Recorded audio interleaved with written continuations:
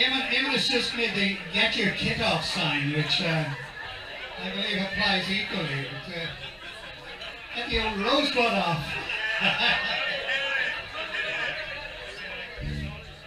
this is a song. This is a song that was actually written in Donegal. I know because one very wet afternoon in the Astoria, well, the Great Northern Hotel which at that time was about as far from being great as it was possible to imagine. It was basically run by a night porter called Fat Freddy. Fat, Fat Alfie, I think. Who, uh, who was night porter and God rest him the man who served you your lunch. So uh, he just never slept. He was, a, was a man who never got to sleep.